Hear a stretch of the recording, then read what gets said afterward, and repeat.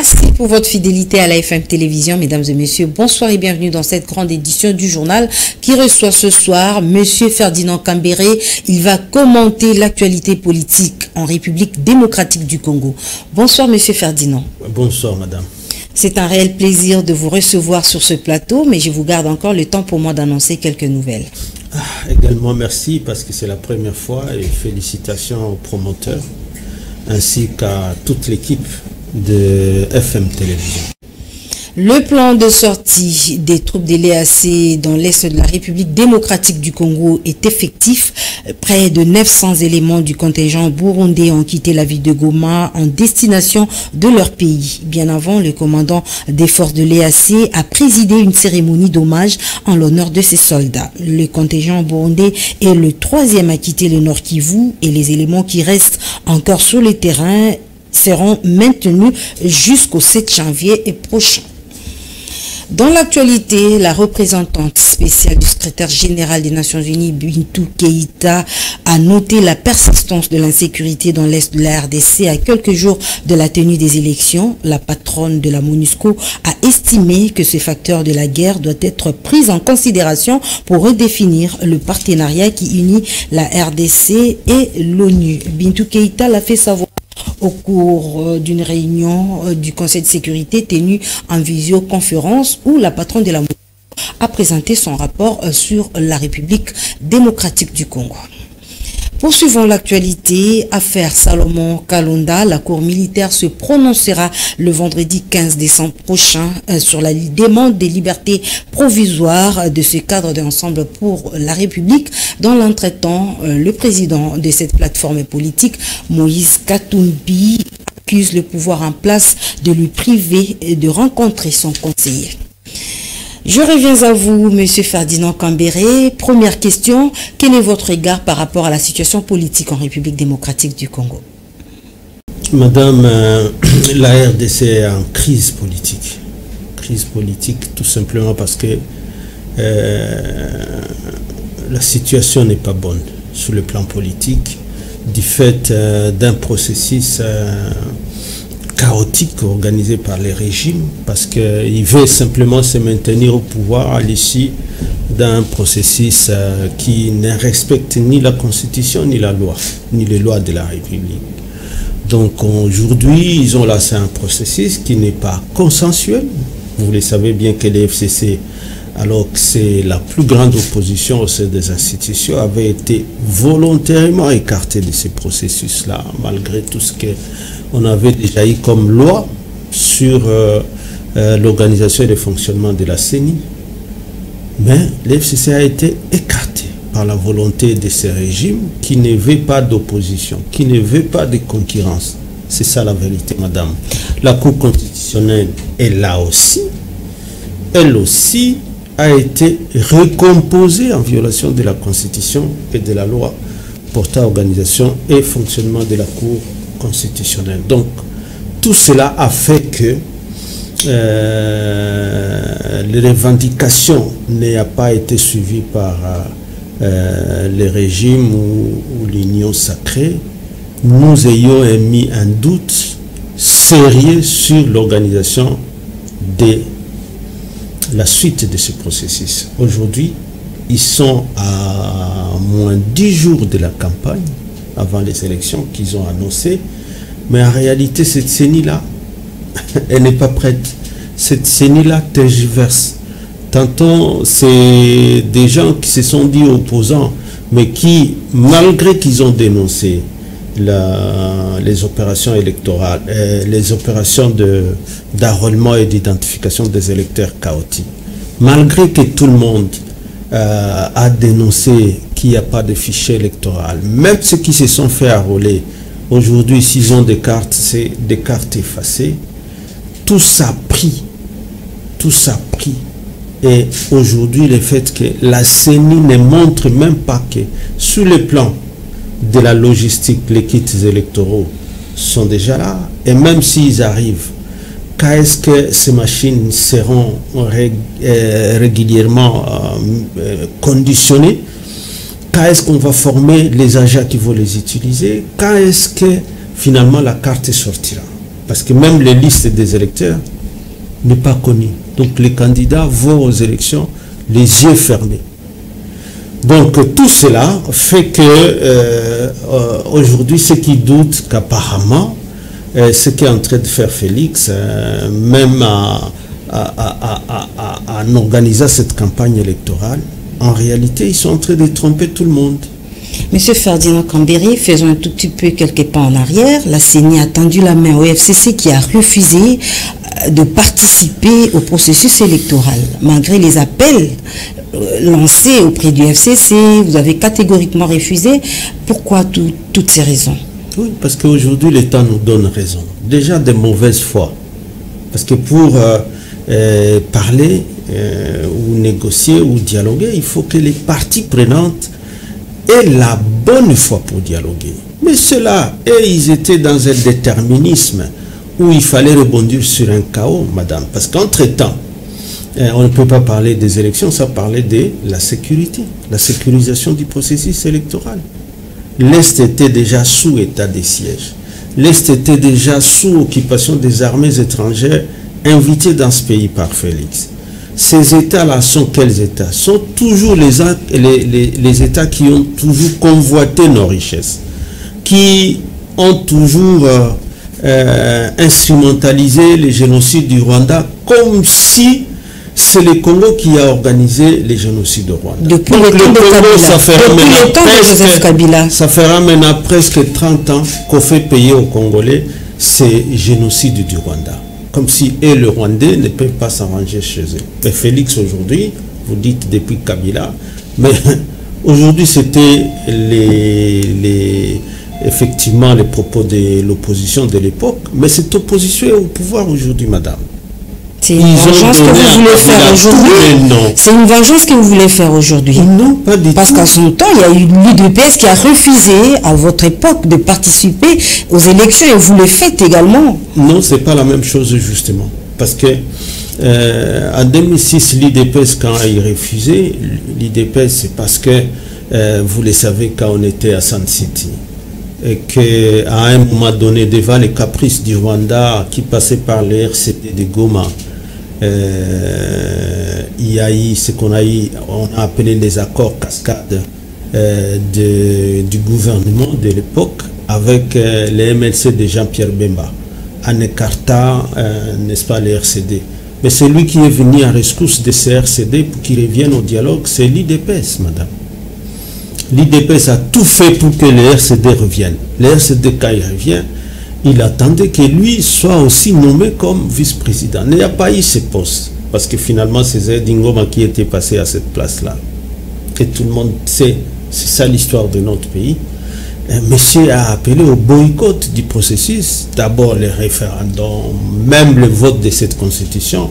On comprend bien qu'ils ne veulent même pas respecter la constitution, tout ça ce que ça veut dire. Aujourd'hui, ils dirigent simplement par la volonté d'IM23 qui est leur allié. On ne savait pas qu'ils pouvaient. Euh, L'IDPS pouvait rester dans cette alliance depuis Sun City. Jusqu'à 2013, ils étaient toujours ensemble. Jusqu'à 2019, ici, quand il a le pouvoir, il les a encore appelés. Ils sont restés 14 mois à Kinshasa en train d'organiser comment ils vont tout chambouler. Aujourd'hui, il n'y a plus d'institutions, madame, qui fonctionnent en réalité. Ni les gouvernements, ni les parlements, ni notre armée, ni notre police. Tout est chamboulé. Vous, pensez que vous pensez que Joseph Kabila a travaillé mieux que Félix Tshisekedi? Mais il a laissé un pays tout entier. Ça, c'est Félix qui le reconnaissait les jours de son serment. Et, bien après, quelques mois, avant qu'il n'obtienne euh, la rupture de la coalition FCC cache il reconnaissait bien qu'il a eu un pays tout entier, un pays sécurisé, une armée forte, une police, une administration organisée. Bien sûr, tout n'était pas parfait, mais c'était à parfaire. Qu'est-ce que nous avons aujourd'hui? Aujourd'hui, il n'a plus rien. Hein, c'est soit des mercenaires, soit des armées étrangères, sa propre armée. Il lui impose un cessez-le-feu, mais en faveur de qui? Dit M23 qui ne fait qu'avancer. Mais pendant que le M23 avance, parce que Hier et avant-hier, on nous a dit Mouchak est tombé, les villages environnants. En plus de ce qu'ils avaient comme territoire, maintenant Goma est encerclé. Mais c'est pendant ce temps que lui, quand même, sait faire sa campagne. Dans ce coin-là. Vous ne voyez pas que c'est bizarre? Hein? Quand il se lève, oh non, Kagame là, c'est le Hitler. Mais il rapproche. Il va même dans les zones contrôlées par ces armées étrangères que lui a invitées. Il n'est pas inquiété. Il y a un problème. Ça veut dire, en réalité, ce désordre, cette instabilité, cette guerre-là, comme les gens de l'Union eux-mêmes le disent, c'est une, guerre amicale entre ses amis d'IM23. il a même écarté un peu les, les, FRDC pour parler aussi de ses amis Ouazalendo. Les mêmes amis à qui il donne des ordonnances pour donner coordonnateur, coordonnateur adjoint, et un lieu de se battre contre les M23, il est en train d'appeler à la campagne pour que les gens élisent Félix. Vous ne voyez pas que c'est un théâtre créé par ce pouvoir pour que demain, Félix, de n'importe quelle manière, à l'issue des élections chaotiques, il se retrouve demain pour un deuxième mandat organisé, euh, soutenu par l'Ouganda et le Rwanda, qui sont en train de terrasser la population à l'Est. Malheureusement, comme, comme pour un corps, lorsque euh, c'est un membre qui est malade, c'est tous les corps. Donc, quand l'Est souffre, c'est le pays tout entier qui souffre. Comment dans ces conditions-là, Félix pense qu'on doit lui donner un deuxième mandat? C'est pas possible. Nous parlons des élections. Quel est votre regard par rapport à la campagne électorale. Il y a quand même quelques ils partis de l'opposition qui participent Ils au ont processus échoué, ils n'ont pas su organiser de bonnes élections à faveur du peuple congolais. Ils n'aiment pas les Congolais, ils n'aiment pas les Congos, ils n'adorent que le Rwanda, ils n'adorent que l'Ouganda. Et donc ils ont échoué, ils n'ont pas su organiser ces élections. On est à moins de 10 jours de, de cette date qu'ils ont dit qu'ils vont organiser les élections, mais personne ne sait ni où il y a les machines pour voter. Mais la CENI confirme que tout est prêt pour qu'on aux élections. Ça fait, je crois, ça c'est le quatrième cycle. Et des trois cycles qu'on a vus, en Sous tout Joseph Kabila. mois sous Joseph Kabila, en tout cas, six pensait que les choses allaient de mieux en mieux à l'époque de Joseph Kabila. voir la CENI, pas celle qui revendique encore des avions, pas celle qui revendique encore des des- des véhicules, pas celle qui revendique encore des motos, à moins de 10 jours. Mais pourquoi Et toutes ces irrégularités réjouissent le FCC Ah, quel- Pardon? Pourquoi ça vous réjouit? Comment ça doit nous, ça nous attriste?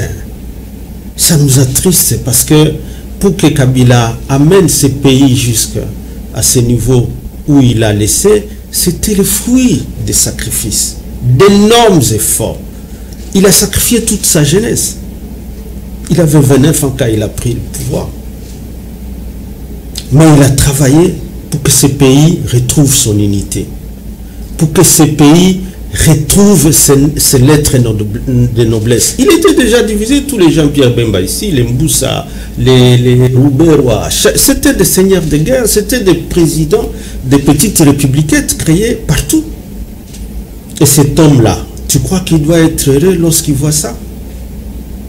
Il doit être content de ce qu'on est en train de faire du Congo? Et ces sacrifices n'étaient pas que de lui, c'était ensemble avec le peuple congolais qui consentait ces sacrifices-là. Et quelqu'un vient simplement parce qu'il veut se faire plaisir, parce que pour lui, diriger un pays, c'est comme diriger sa propre boutique. Il chamboule tout, il met tout en air. Mais lorsqu'il parle de quelques acquis consolidés, le FCC ne voit rien. Quels acquis vous allez La gratuité de l'enseignement, la gratuité de la Madame, maternité, Madame, il a construit combien de cons- la construction de plusieurs routes que vous, Madame. vous n'avez pas fait.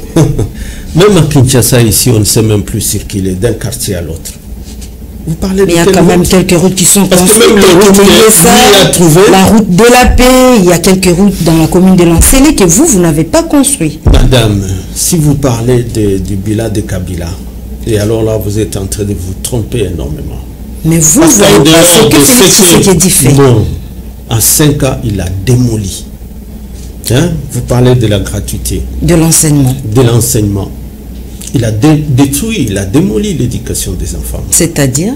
C'est-à-dire, vous ne savez pas appeler, parce que d'abord, un, il faut qu'on vous dise que la gratuité est, est consacrée dans la Constitution, que lui Tout à n'a fait, pas que vous, vous n'avez pas appliqué. Si, on l'a appliqué, il y a eu un programme de 1000 écoles qui a été entamé par euh, Matata, même si on n'a pas eu toutes euh, les 1000 écoles, mais au moins on a eu, au moins je crois 500. Et pourquoi?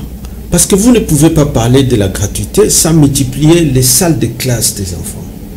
Vous voyez un enseignant qui ne donne cours à 30, 35, 40, 50 enfants au maximum. Vous ne pouvez pas lui amener comme ce qu'ils sont en train de faire aujourd'hui 100 enfants. Parce que qu'est-ce qui va se passer? Il y a des enfants qui seront assis sur les bancs, d'autres sont assis par terre, parce qu'ils n'ont même pas acheté les bancs.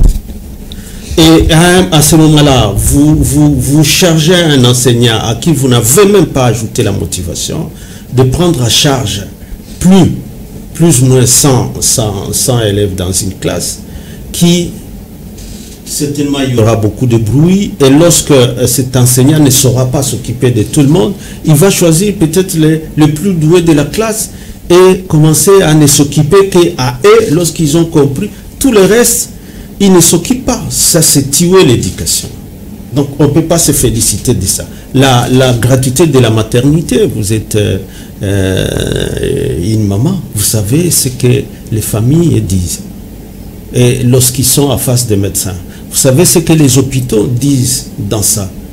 Vous voulez que les médecins euh, soignent gratuitement, mais en contrepartie, l'État ne verse pas euh, la contrepartie euh, dans les hôpitaux. Donc des slogans creux qui n'ont pas de contenu, un programme réel du gouvernement qui ont été mis à place pour que ces, ces, programmes-là soient une réalité dans la vie sociale de la société. Je viens de parler des routes, il n'y a rien à comparer parce que l'anglais, ça c'est combien de kilomètres? 6 kilomètres de tout ce que Kabila a fait, des ponts réalisés. Les gens euh, quittent Kassai, ils arrivent ici à moto, madame. Parce qu'il y a eu des ponts construits. Hein, Luangui et tous les autres. Et il n'y a pas simplement que dans une province, c'était dans toutes les provinces. Donc, euh, en réalité, si aujourd'hui vous voyez une campagne électorale sans contenu, sans thème, où les gens ne, sont que dans les invectives pour traiter d'autres, des étrangers, des candidats de l'étranger, c'est parce que Félix évite qu'on parle de son bilan. Il n'en a pas. Il faut que euh, tel est candidat de l'étranger. Mais vous pouvez vous demander, qui est celui qui est le candidat des étrangers entre parce que d'abord pour nous tous, tous qui ont voulu participer à ça, c'était vouloir donner la chance à Félix d'être proclamé à l'issue des élections chaotiques. Et ça, ça ne peut pas passer. Et c'est à cela que nous continuons à appeler à, la vigilance du peuple, à, à user de l'article 69, parce que c'est le dernier verrou du pouvoir, le peuple. Le peuple. Donc voilà, madame. Euh, ça a été un plaisir, mais toujours continuer à, à appeler à l'éveil de la conscience nationale, parce que nous n'accepterons pas que ces pays, madame, soient vendus à vil prix. Ce sera tout, Monsieur Ferdinand Cambaré. Merci d'avoir répondu à nos questions. Merci aussi, madame. C'était là M. Ferdinand Cambéré qui a donné son avis par rapport à la situation politique de l'heure. Poursuivons ce journal avec le chapitre de la campagne électorale, débutant par le numéro 398 à la députation nationale dans la circonscription électorale de la Founa. Il s'agit de Fifi Bachalaloueba qui a fait une ronde dans sa circonscription. Elle a été à Selembaou où elle a d'abord participé au culte de l'église La Grâce avant de clôturer sa tournée avec sa base. Lionel Ngolo et Torres Tibou signent ce reportage. C'est une journée dominicale très chargée pour Fifi Bachala-Lueba. s'est livré à un marathon dans le cadre de sa campagne électorale. À la demande de ses électeurs, la surnommée Maman Bindio a commencé cette tournée à l'église paroisse La Grâce, située sur l'avenue Révolution, où elle a reçu la bénédiction des hommes de Dieu et des fidèles de cette église. Fifi Bachala ne s'est pas rendu main vide pour soutenir les mamans de cette église. La candidate de la FUNA a remis quelques pagnes en signe d'amour et d'encouragement à toutes ces femmes. Sur place, elle n'a pas manqué de mots au peuple de Dieu.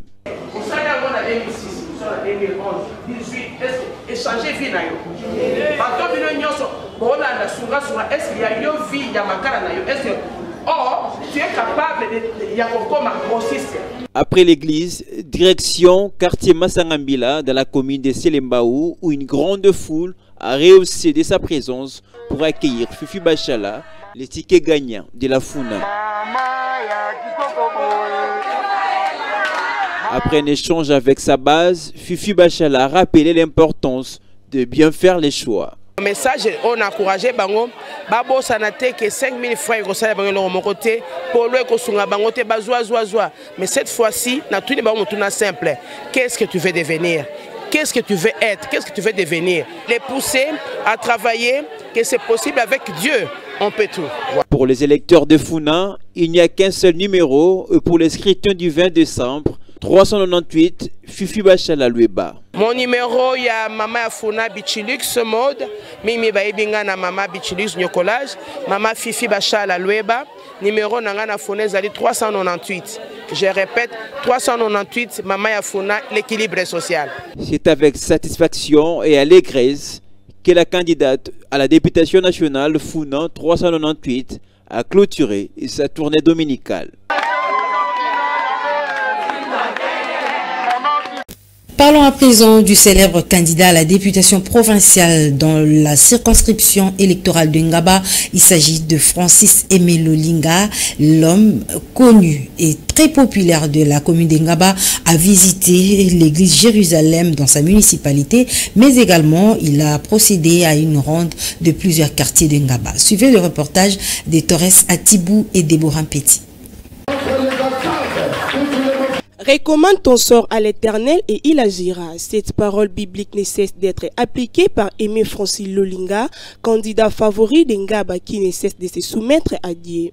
Dans cette euphorie qui a marqué son accueil à l'église de Jérusalem, le candidat aux législatives provinciales au numéro 106 et aux élections communales au numéro 370 a été rassuré du soutien de fidèles. Il a saisi la balle au bon pour présenter son suppléant Jean Poupon Kalala, qui est aussi candidat conseiller municipal au numéro 369.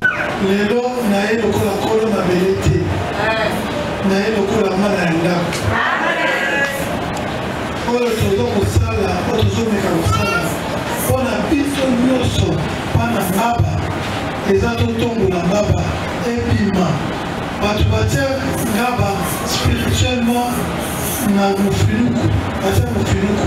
Oyoka babenga bango ba mofinuku ya ngaba mpona bazipa ngaba. Eyokanaka te naza mpe kandidat conseil municipal. Kaka esika moko na naleki na wana mwana na nga poupon jean poupon kalala Moi, la dernière, il y a le numéro 369, là, le numéro 359. Donc, euh, on tient plus sur toi pour gouverner.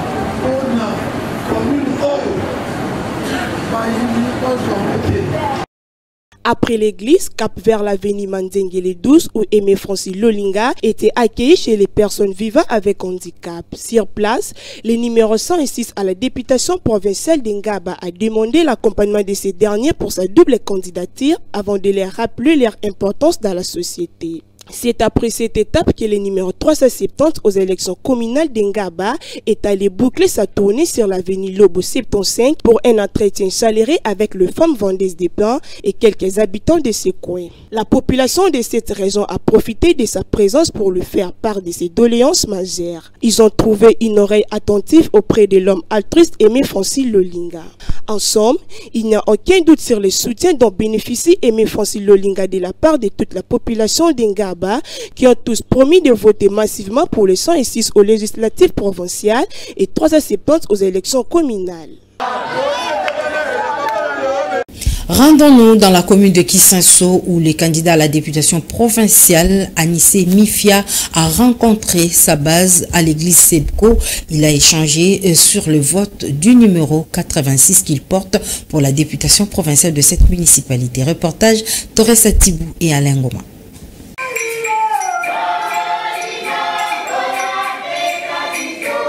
Communément appelé Molobelu Yabana Kisenso, le candidat numéro 86 à la députation provinciale Anis Mifia a effectué une descente ce dimanche à l'église Sebeko de Kisenso où il est allé recevoir sa bénédiction pour les élections du 20 décembre. En bon chrétien, Cédine, fils du terroir, ne s'est pas rendu main préduit. Il a apporté des sacs de ciment et une enveloppe consistante pour certains travaux qui se font dans cette paroisse. Quittant l'église, le numéro 86 a fait une marche avec une foule immense pour se rendre à la salle Maumba où il a passé un message sensibilisant sa base pour son élection le 20 décembre. omoni 8 obeti 6 masolo esili ntango obeti 8 na lolendo obeti 6 masolo evide te yo moko kaka omoni mpenza na elengi. Tadi obeta na elengi. Yo moko omona elengi 8 obeti 6 masolo evide omoni mpenza elongi ebimi wai alors toyoki ndeko akuti oloba. Makambo ya kisenso biso nyonso toyebi yango. Papa anise toyebi ye. Na batelevizio tomona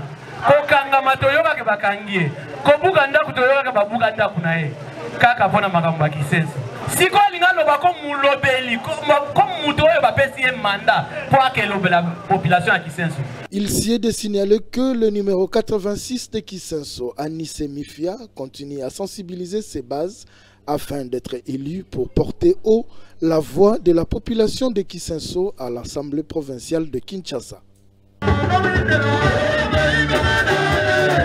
Mesdames et messieurs, vous le savez, la FM Télévision, dans ses particularités, offre l'opportunité à tout candidat à la députation nationale, provinciale ou à la présidentielle de présenter son projet de société. Et pour ce soir, nous recevons un deuxième invité qui va parler de lui. Il s'agit de Monsieur Mwamba Kachunga. Il est candidat à la députation nationale. Bonsoir, Monsieur Mwamba Kachunga. Bonsoir, madame.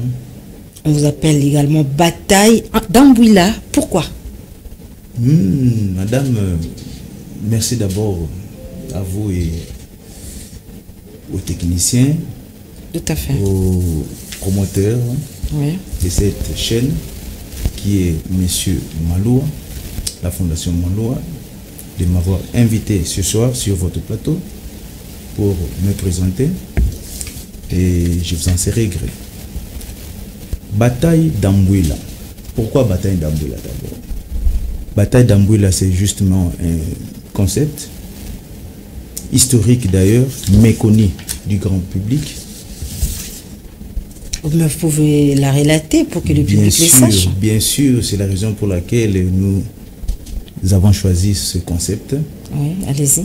Euh, la bataille d'Ambouila relate tout simplement l'histoire d'un chef guerrier congolais du royaume Congo, nommé roi Vitakanga, qui s'est levé contre les multinationales, contre le pillage des ressources naturelles congolais. À l'époque, c'est-à-dire en 1665. Voilà. Et au jour d'aujourd'hui, on se demande pourquoi est-ce que cette histoire glorieuse de nos aïeux est si méconnue du grand public? La raison est simple. La raison est simple. C'est parce que l'éducation nationale n'a pas été confectionné par les Congolais. Le programme de l'éducation nationale, voulais-je dire, nous l'avons hérité des Belges. Et de bonnes guerres, les Belges ne pouvaient pas inclure cette phase, cet épisode de l'histoire glorieuse de notre grande nation. C'est ce que vous, vous voulez amener comme euh, innovation en République démocratique du Congo en étant candidat? Euh, innovation peut-être, me, je dirais, juste raviver les mémoires du peuple congolais. Pour faire remarquer que ce que nous vivons aujourd'hui ne date pas d'aujourd'hui. Ce n'est que l'histoire qui ne fait que se répéter, se répéter, se répéter, et ça ne fait que se répéter encore. Et si euh, cela euh, semble marcher, justement, c'est parce que la mémoire des Congolais semble oublier ses repères. C'est pourquoi nous avons voulu porter cette casquette pour justement dire aux Congolais ce que nous vivons n'est pas une grande première. Autrefois, il y a eu un monsieur, un grand guerrier du royaume Congo qui a tenu tête. Il a tenu tête à tous ces occidentaux pollueurs de notre nature. Hollandais, Français, Portugais, tous, malgré leur arsenal, n'ont pas pu venir à bout de ces grands guerriers, ni têter la traîtrise des Moulaza. Justement, c'est la traîtrise que nous décrions. Souvenez-vous des musées Laurent Kabila qui a dit ne jamais trahir le Congo. En fait de compte, il a été trahi par un des nôtres. Nous en appelons aux Congolais, madame, s'il vous plaît, à faire attention pour ne pas encore une fois trahir le Congo. Merci. Monsieur euh, Mwamba Kachunga, vous faites recours à la sociologie, vous voulez revivre l'histoire aujourd'hui. Pensez-vous que cela est utile pour les électeurs congolais? De votre circonscription électorale? Euh, oui. En quoi? On ne peut pas faire, madame, la politique sans repère. Toute politique est politique, mais ça se conforme à la société dans laquelle elle, se déroule. Nous, étant Congolais, nous devons avoir des repères. Les repères, c'est quoi? C'est l'histoire de notre pays. Cette histoire nous enseigne ce qui a été le passé et cette histoire va nous enseigner où devons-nous aller. Merci. Très bien, monsieur Mwamba Kachunga. Euh, quel sera votre apport une fois élu au Parlement? Euh, je l'ai dit tantôt ici, euh, on ne peut pas faire... Apport réel par rapport aux besoins de votre population. Vous êtes d'ailleurs de quelle circonscription et votre numéro, si vous pouvez également le dire en passant Merci, merci pour cette opportunité de me faire de parler de moi en Oui, particulier. allez-y. Là, je parlais du Congo et du Royaume Congo. Justement, je me nomme Mwamba Kachunga, autrefois dit Bénédicte, mais je préfère qu'aujourd'hui qu'on m'appelle Bataille parce Bataille que ça rêvait l'image et même ma pensée politique. Euh, mon apport est tout à fait simple. En questionnant le passé, vous vous rendrez compte que les Congolais, jadis, étaient maîtres du sol, maîtres de la terre. Mais aujourd'hui, qu'en est-il? Qu'est-ce que nous produisons? Nous sommes devenus un peuple consommateur, alors que dans les temps, la vocation du royaume Congo était le commerce. Et le contact avec l'Occident avait pour cause le commerce. Et dans cet échange, aujourd'hui, on ne se retrouve pas. Et par rapport à l'Assemblée nationale, nous allons militer ensemble avec mes collègues du Parlement à favoriser la production locale. Cette production qui va amener l'essor économique et de ce fait l'épanouissement et le mieux vivre du peuple congolais. Je posais une deuxième question. Quelle est votre circonscription électorale et vous portez quel numéro? Je suis de la circonscription électorale de la Lukunga. On m'a attribué le numéro 581 par la CENI. Oui, vous êtes candidat à la députation nationale dans la circonscription électorale de la Lukunga. Vous portez le numéro 581. Un message particulier à toute la population de la Lukunga qui vous suit en ce moment. Oui, euh, le message est simple. Je veux peut-être me, me répéter, mais qu'à cela ne tienne. Euh, En quelques mots. hein. La politique, euh, on ne peut pas prétendre l'exercer sans repère. Et je demande aux Congolais de voter utile. De voter ceux-là qui pensent réellement à la remise au travail du peuple congolais. Et